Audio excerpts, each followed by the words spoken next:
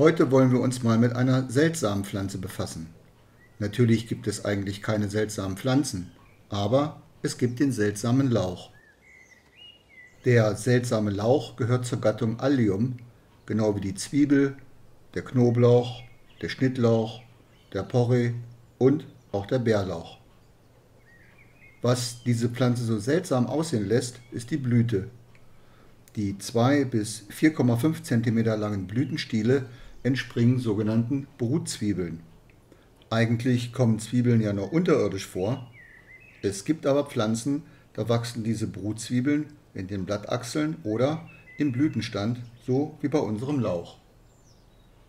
Bereits im März bildet der seltsame Lauch große Teppiche in nährstoffreichen, warmen Böden. Meist findet man ihn in Wäldern, weil er es eher schattig mag.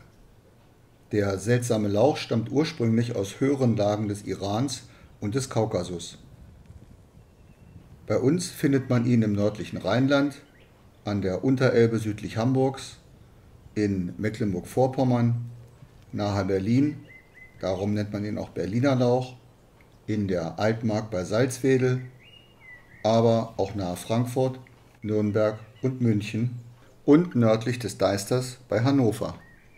Die Aufnahmen zu diesem Film entstanden alle im hannoverschen Stadtwald der Eilenriede. Die Blütezeit ist April bis Mai. Der seltsame Lauch, den man übrigens auch Wunderlauch nennt, ist essbar und sehr gesund. So, dann wollen wir mal schauen, ob der seltsame Lauch auch seltsam schmeckt.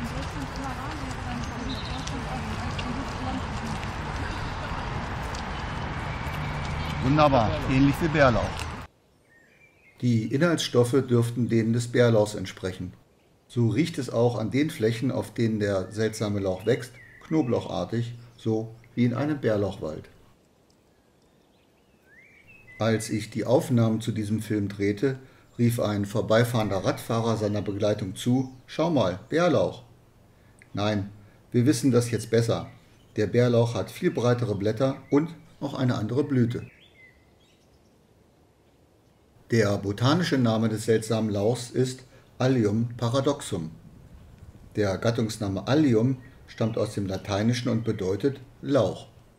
Der Artname Paradoxum kommt aus dem Altgriechischen und bedeutet, ihr ahnt es bereits, genau, seltsam, auffällig, widersinnig.